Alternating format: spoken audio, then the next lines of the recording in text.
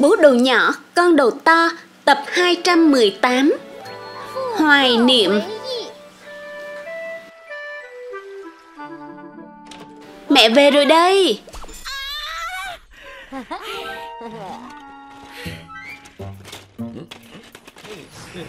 Hai người, hai người lại làm gì vậy hả?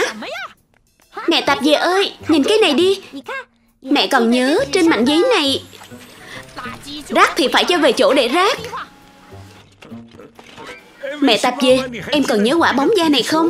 Em nghĩ lại xem Rác thì phải vứt đi Bất kể nó là gì. Đủ rồi Bây giờ hai người mau đi khôi phục lại phòng khách Về nguyên trạng đi. Mẹ sẽ giám sát hai người Mau thu dọn đi Đừng có lề mề nữa.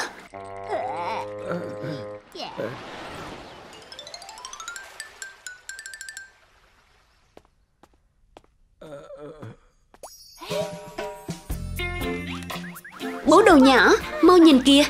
Hóa ra tấm ảnh này ở đây.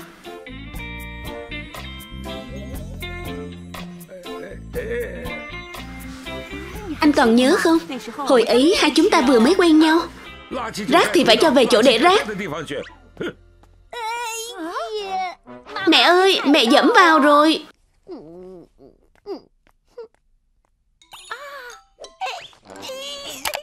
Con đồ to Đây là tấm thảm con thích nhất hồi nhỏ. Ngày nào con cũng quấn nó đi ngủ. Rác thì phải vứt đi, Bất kể nó là gì. Hai người cần nhớ cái chai này không?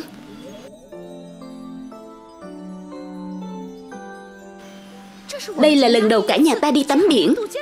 Hai người nói dùng nó để đừng ánh sáng.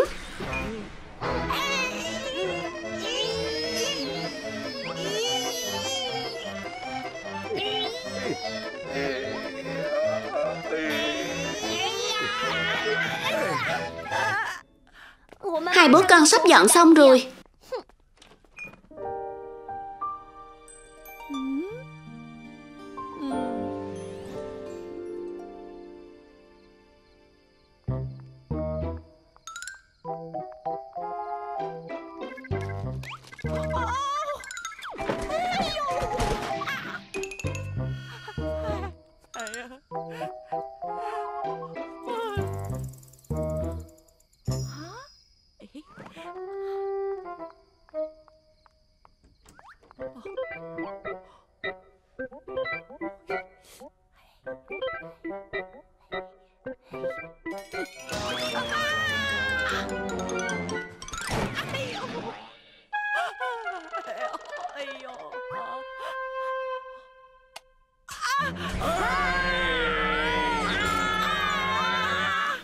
Mẹ tập về. Sao lại là mẹ? Đúng vậy, Là mẹ. Chính là mẹ đây. Sao hả? Đêm hôm không ngủ, Em làm gì vậy? Mẹ tập về. Mẹ không ngủ, mà lấy mấy thứ này làm gì vậy? Mẹ phát hiện hai người chưa thu dọn sạch hết, Nên bây giờ đang dọn thay hai người đây.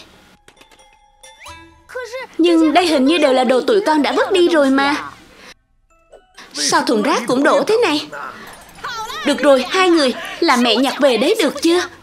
Mẹ chỉ cảm thấy những món đồ này Đều là chứng nhân cho những kỷ niệm đẹp đẽ ngày xưa của chúng ta. Đừng khóc nữa. Nên mẹ Mẹ không nỡ vứt đi. Thực ra tụi con cũng không nỡ. Nhưng chúng ta để nó ở đâu được? Được rồi, được rồi. Ngày mai chúng ta sẽ sắp xếp, được không nào?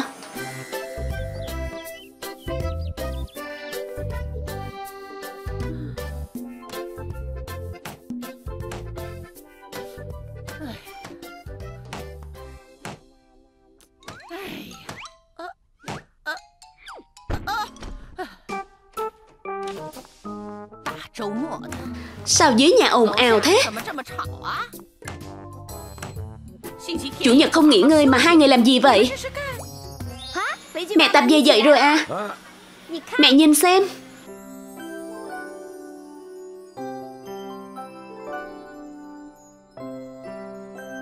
Con đồ to, bố đồ nhỏ.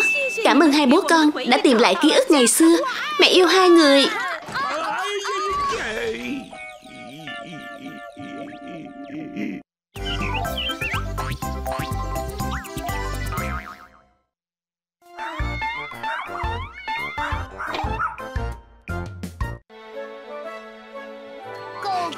đi bậy. Bố về rồi đây. Bố đầu nhỏ về rồi.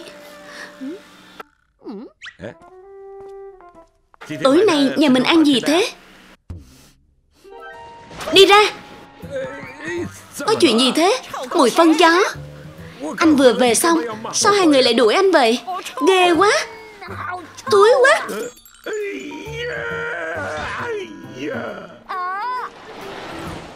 Tức tức quá đi mất. Bố nhất định phải tìm ra tên đầu sỏ. Bố đầu nhỏ Bố nhìn kia Chúng ta trốn đi.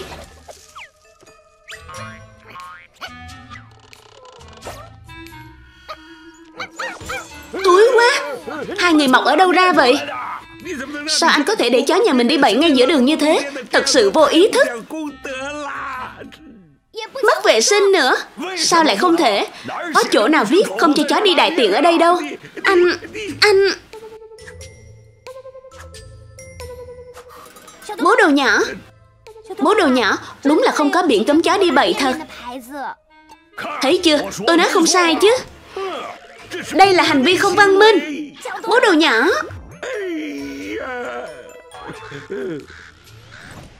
Cái này của bố chắc chắn có tác dụng. Mong là thế. Con đầu ta, mau.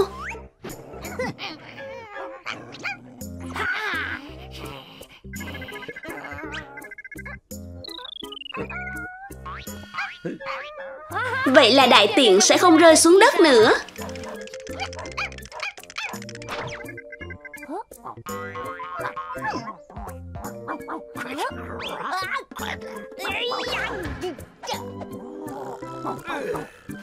Chiêu này của chúng ta hình như không hiệu nghiệm.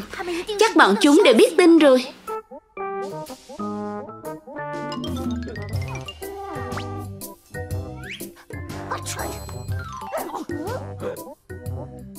Bố đồ nhỏ ơi, Chó nhà chú Mao chắc chắn là thủ lĩnh của toàn bộ chó trong khu phố. Còn chó hư dẫn đầu đi bậy bừa bãi. Vậy nếu chó nhà chú Mao không đi bậy trên đường nữa, Thì những con chó khác sẽ học theo nó. Có lý.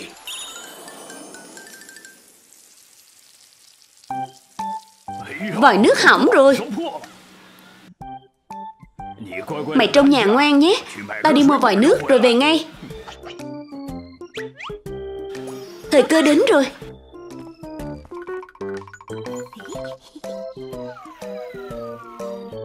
Bây giờ tao là người chỉ đạo vệ sinh. Hãy nhớ, Đi đại tiện phải vào đây, Không phải ngửi tao, Mà là cái vòng kia. Chó không hiểu lời bố nói đâu. Phải xem hình vẽ. Cún con Đây mới là chỗ đi đại tiện nha.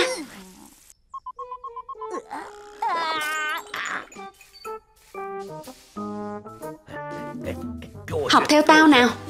Phải đi đại tiện trong vườn nhà mình mới là chó ngoan, Biết chưa?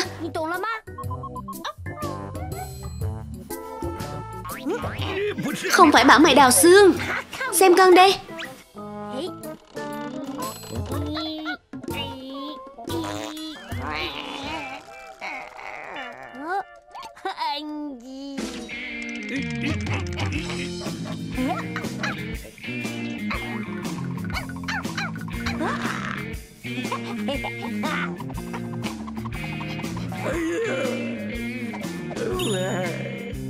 Cuối cùng chó cũng học được cách đi đại tiện trong nhà mình rồi. Về sau không cần lo dẫm phải phân chó nữa.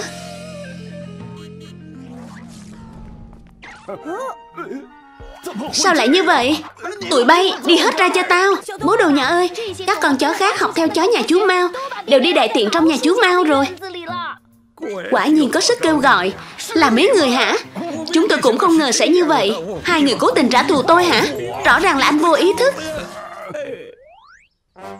Đây là cái gì? Đây là dụng cụ nhặt phân chó. Chúng ta hãy cùng nhau dọn phân chó đi.